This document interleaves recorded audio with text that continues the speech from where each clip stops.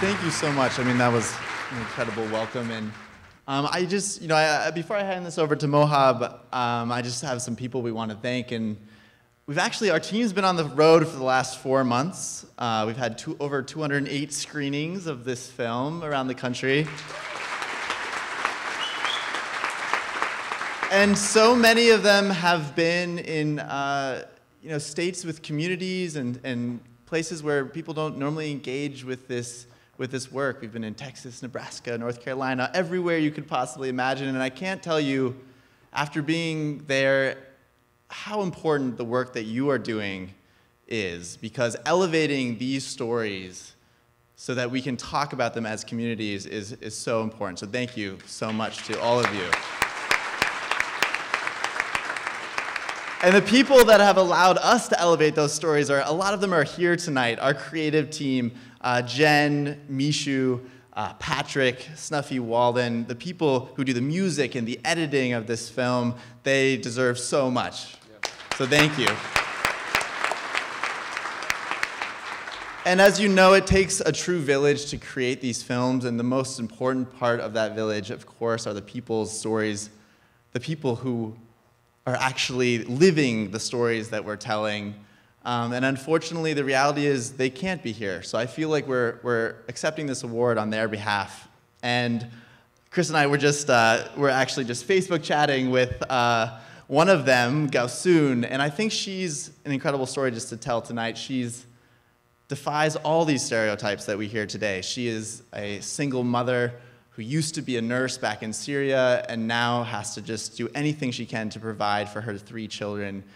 And for, you know, for us, I think it's really her who, it's, it, she embodies so much of what we tell in this film and really provides us hope every single day. And so we owe her and, and all the people in this film a huge round of applause.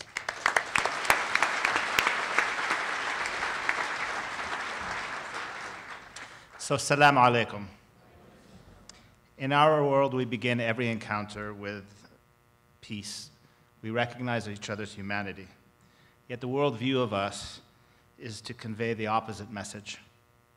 We are portrayed, therefore, as a stereotype, one that tells the vast, vast majority of us that our religion is what the extremists on both sides say, say it is. They want us to make a choice between us and them there is no middle ground. Salam Neighbor rejects that premise and finds the vast middle ground where so many of us reside by challenging these stereotypes. Rather than engage in monologues like ships that pass each other in the night, we initiate cross cultural dialogue through human stories where East meets West. Rather than fight fire with fire, we respond with peace and humanity. Salam Neighbor presents the reality of the Syrians, the Syrian refugees' lives.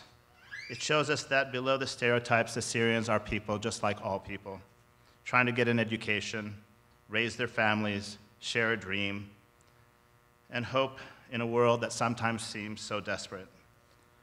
But within that desperation, they have shown us incredible generosity and opened their hearts to our film team.